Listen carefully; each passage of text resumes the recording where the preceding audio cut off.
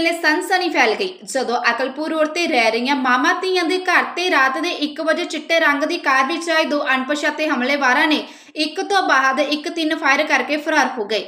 ਇਹ ਸਾਰੀ ਘਟਨਾ ਸੀਸੀਟੀਵੀ ਕੈਮਰਿਆਂ ਵਿੱਚ ਕੈਦ ਹੋਈ ਹੈ। ਥਾਣਾ ਫਿਲੌਰ ਦੇ ਐਸਐਚਓ ਸੁਖਦੇਵ ਸਿੰਘ ਨੇ ਦੱਸਿਆ ਕਿ ਸਾਨੂੰ ਨੀਰੂ ਜੱਸਲ ਤੇ ਕੋਮਲ ਜੱਸਲ ਨੇ ਇਤਲਾਹ ਦਿੱਤੀ ਸੀ ਕਿ ਸਾਡੇ ਘਰ ਗੋਲੀਆਂ ਚੱਲੀਆਂ ਹਨ। ਅਸੀਂ ਮੌਕੇ ਤੇ ਗਏ ਤੇ ਜਾਂਚ ਸ਼ੁਰੂ ਕਰ ਦਿੱਤੀ ਹੈ। ਜਿਸ ਤੋਂ ਬਾਅਦ ਨੀਰੂ ਜੱਸਲ ਨੇ ਦੱਸਿਆ ਕਿ ਉਸ ਦਾ ਮੁੰਡਾ ਜੋਗੇਸ਼ ਜੱਸਲ ਅਮਰੀਕਾ ਵਿੱਚ ਹੈ ਤੇ ਉਹ ਸੁਖਬੀਰ ਸਿੰਘ ਭੁੱਲਰ ਕੋਲ ਟਰੱਕ ਟਰਾਲਾ ਚਲਾਉਂਦਾ ਸੀ। ਉਸਨੇ ਕੰਮ ਕਰਾ ਲਿਆ, ਪਰ ਉਸ ਦਾ 8000 ਡਾਲਰ ਨਹੀਂ ਦਿੱਤਾ। ਉਸ ਤੋਂ ਬਾਅਦ ਜੋਗੇਸ਼ ਨੇ ਸੁਖਬੀਰ ਸਿੰਘ ਭੁੱਲਰ ਦਾ ਨਾਮ ਲੈ ਕੇ ਸੋਸ਼ਲ ਮੀਡੀਆ ਤੇ ਵੀਡੀਓ ਪਾ ਦਿੱਤੀ ਤੇ ਸਾਰੀ ਹੱਡਬੀਤੀ ਵੀਡੀਓ ਵਿੱਚ ਬਿਆਨ ਕਰ ਦਿੱਤੀ। ਨੀਰੂ ਜੱਸਲ ਨੇ ਦੱਸਿਆ ਕਿ ਉਹਨਾਂ ਨੂੰ ਲਗਾਤਾਰ ਧਮਕੀਆਂ ਮਿਲ ਰਹੀਆਂ ਸਨ ਤੇ ਉਹਨਾਂ ਦੇ ਘਰ ਇਸ ਹਮਲੇ ਤੋਂ ਪਹਿਲਾਂ ਦੋ ਵਿਅਕਤੀ ਆਏ ਸਨ ਜੋ ਡੱਬਾ ਦਿੰਦੇ ਬਹਾਨੇ ਆਏ ਸਨ।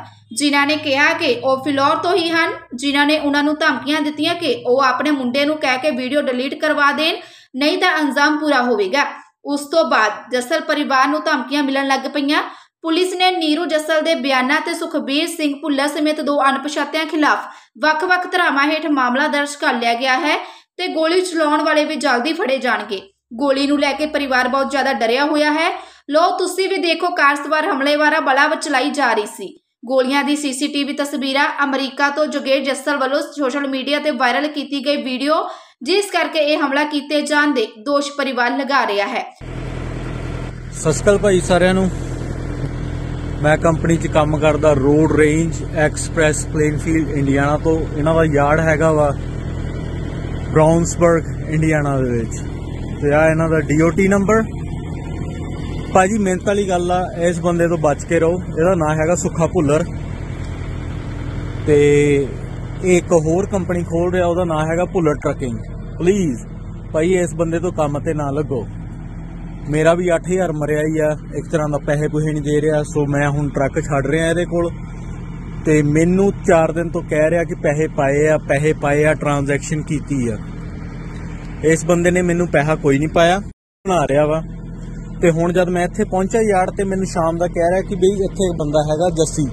ਉਹਨੂੰ ਦਿੱਤੇ ਆ ਪੈਸੇ 2500 ਡਾਲਰ। ਤੇ ਇੱਥੇ ਆ ਕੇ ਪੈਸੇ ਲੈ ਲਾ। ਤੇ ਮੈਂ ਬੜੀ ਇਮਾਨਦਾਰੀ ਨਾਲ ਭਾਜੀ ਕੋਲ ਇੱਥੇ ਟਰੱਕ ਲੈ ਕੇ ਆਇਆ ਯਾਰਡ ਦੇ ਵਿੱਚ। ਟਰੱਕ ਛੱਡਣ ਲਈ ਕਿ ਚੱਲ ਮੈਨੂੰ ਭਾਜੀ ਪੈਸੇ ਦੇ ਦਿਓ। ਦੈਨ ਆਈ ਵਿਲ ਗੋ ਰਾਤ ਦੇ ਇਸ ਵੇਲੇ ਵੱਜ ਚੁੱਕੇ ਆ ਡੇਢ, ਪੌਣੇ 2 ਤੇ ਮੇਰੀ ਫੈਮਿਲੀ ਮੈਨੂੰ ਪਿਕ ਕਰਨ ਆ ਰਹੀ ਹੈ ਮਿਸ਼ੀਗਨ ਤੋਂ ਆਲਮੋਸਟ 200 ਮਾਈਲ ਤੋਂ। ਦੈਨ ਇਸ ਬੰਦੇ ਨੇ ਪੈਸੇ ਨਹੀਂ ਇਹਨੇ ਮੈਨੂੰ ਦਿੱਤੇ ਹੈਗੇ ਹੱਲੇ। ਤੇ ਪਲੀਜ਼ ਐਦਾਂ ਦੇ ਧੋਖੇ ਤੁਹਾਡੇ ਨਾਲ ਵੀ ਹੋਣੇ ਆ, ਇਸ ਬੰਦੇ ਨਾਲ ਨਾ ਕੰਮ ਕਰੋ। ਥੈਂਕ ਯੂ ਇਹਦਾ ਦੁਬਾਰ ਤੋਂ ਮੈਂ ਫੇਰ ਦਿਖਾ ਦਿੰਦਾ ਕਿ Road Range Express Plainfield Indiana. ਤੇ ਆ ਇਹਨਾਂ ਦਾ ਡੀਓਟੀ ਨੰਬਰ ਆ। ਹੋਰ ਨਵੀਂ ਕੰਪਨੀ ਸਟਾਰਟ ਕਰ ਰਿਹਾ, ਉਹਦਾ ਨਾਮ ਹੈਗਾ ਭੁੱਲਰ ਟਰੱਕਿੰਗ। ਪਲੀਜ਼ ਇਹਨਾਂ ਤੋਂ ਬਚ ਕੇ ਰਹੀਓ। ਥੈਂਕ ਯੂ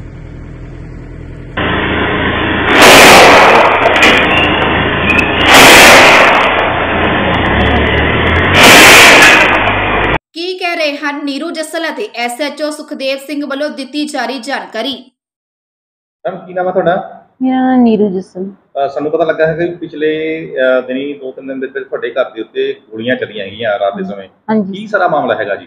ਸਰ ਮੇਰੇ ਬੇਟੇ ਨੇ ਬਾਹਰ ਕੰਮ ਕੀਤਾ ਸੀ ਉਹਨੂੰ ਪੈਸੇ ਨਹੀਂ ਦਿੱਤੇ ਉਹਨਾਂ ਨੇ ਕੰਪਨੀ ਕਿੱਥੇ ਤੁਹਾਡਾ ਵਾਲੇ। ਬੇਟਾ ਕਿੱਥੇ ਜੀ? ਮੇਰੇ ਘਰ ਅਮਰੀਕਾ ਜਾ। ਹਾਂਜੀ। ਕਾਹਦਾ ਕੰਮ ਕਰਦੇ ਹੋ? ਉਹ ਟਰੱਕ ਚਲਾਉਂਦਾ ਸੀ। ਓਕੇ ਪੈਸੇ ਕਿੱਥੋਂ ਨਹੀਂ ਮਿਲੇ ਉਹਨੂੰ? ਉਹ ਕੰਪਨੀ ਵਾਲੇ ਤੋਂ ਪੈਸੇ ਨਹੀਂ ਮਿਲੇ ਉਹਨੂੰ। ਅੱਛਾ ਜੀ ਫਿਰ? 8000 ਡਾਲਰ ਸੀ ਉਹਨਾਂ ਨੇ ਦਿੱਤਾ ਨਹੀਂ।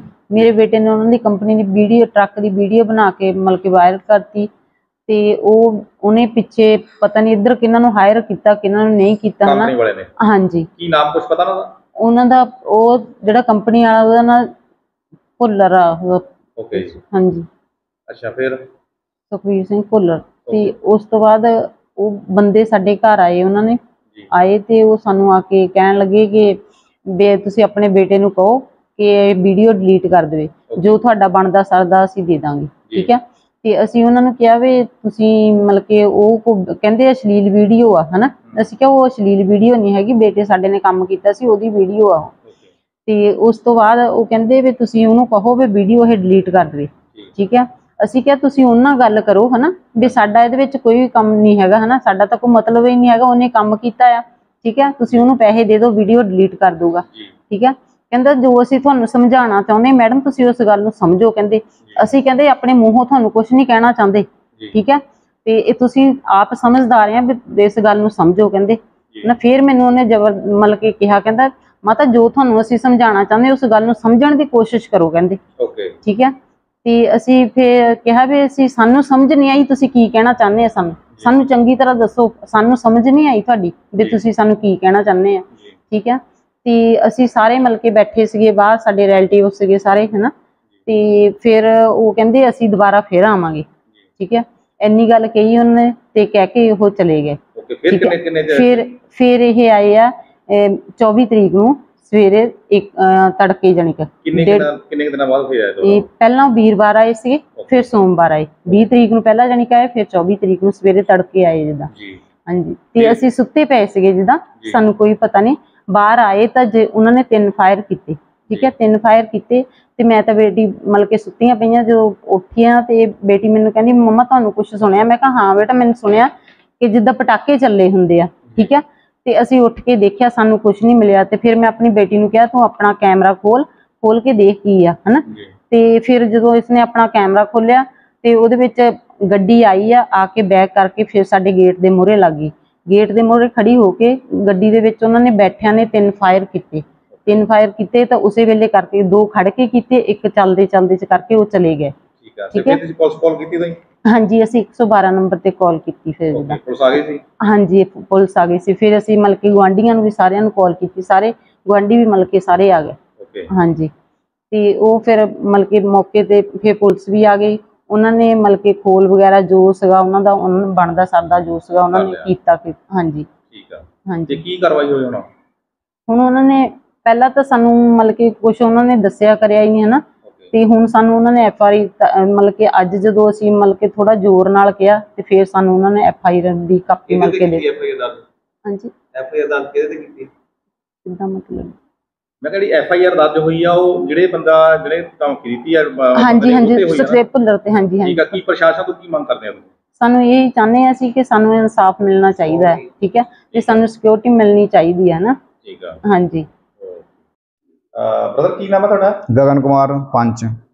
ਪੰਜ ਹੋ ਤੁਸੀਂ ਪਿੰਡ ਦੇ? ਹਾਂਜੀ ਹਾਂਜੀ। ਠੀਕ ਇਹ ਤੁਹਾਡੇ ਪਿੰਡ ਵਿੱਚ ਇੱਥੇ ਅਹ, ਬੀਤੇ ਦਿਨ ਗੋਲੀਆਂ ਚੱਲੀਆਂ ਸੀ ਰਾਤ ਨੂੰ ਇੱਥੇ ਦੋ ਮਾਵਾਂ ਧੀਆਂ ਰਹਿੰਦੀਆਂ ਇਕੱਲੀਆਂ ਹਾਂਜੀ ਘਰ ਦੇ ਹਾਂਜੀ। ਵਿੱਚ। ਰਾਤ ਨੂੰ ਤੇ ਅਟੈਕ ਹੋਇਆ ਤਿੰਨ ਫਾਇਰ ਹੋਏ ਹੈਗੇ ਆ। ਕੀ ਤਰ੍ਹਾਂ ਮਾਮਲਾ ਹੈਗਾ? ਤੁਸੀਂ ਇੱਥੇ ਨਾ ਅਹ, ਮੌਕੇ ਤੇ ਮੌਜੂਦਾ ਪਹੁੰਚੇ ਹੈਗੇ ਹੋ।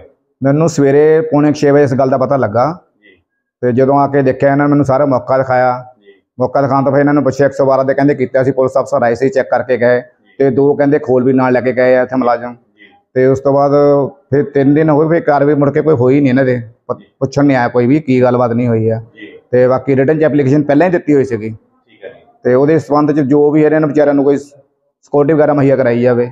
ਹਾਂਜੀ ਸਰ ਇੱਕ ਫਲੋਰ ਵਿੱਚ ਗੋਲੀ ਚੱਲਦੀ ਹੈ ਕੀ ਮਾਮਲਾ ਹੈ ਸਰ?